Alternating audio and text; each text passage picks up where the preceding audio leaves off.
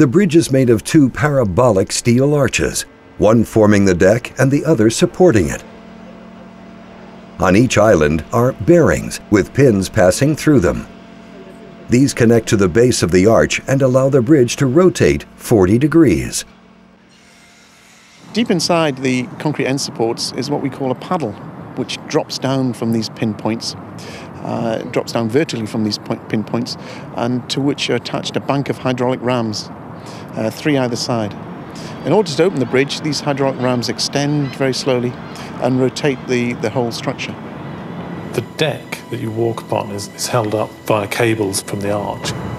The arch is made of steel, and uh, the cables are in tension. The most important thing when we tilt the deck is that the cables have to remain in tension so that it pulls the deck with it.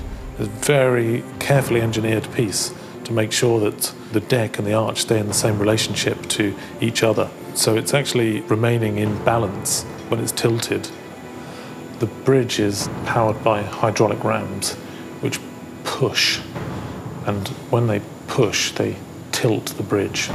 Three 55 kilowatt hydraulic pumps on each side of the structure help to create the tilting motion and are controlled by a sophisticated computer system to ensure that synchronization of the ram extension is precise within 10 millimeters between each side of the bridge.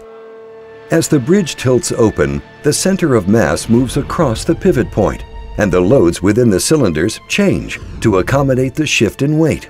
When fully open, the cables between arch and deck lie perfectly horizontal. To begin construction, they dredged the riverbed to prepare for piling. A dry area was needed to lay the foundations, so temporary watertight enclosures called cofferdams or caissons were used to keep out the surrounding water. Two concrete foundations were then built within them. It is a very complex shape. Watson Steel, who did a fantastic job of creating that vision.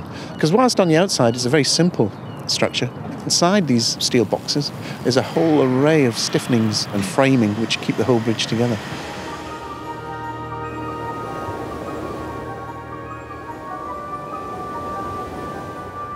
Successfully linking Newcastle to Gateshead, the bridge stands as an iconic symbol of modern engineering and design.